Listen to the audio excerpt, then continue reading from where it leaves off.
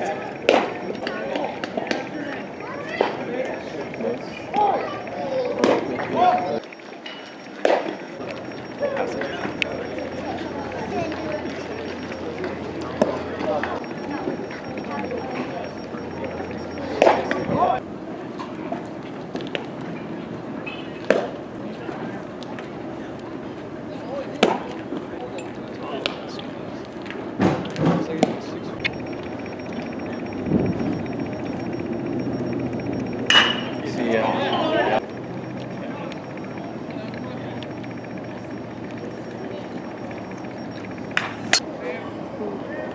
asking me underline them, does that mean they swung?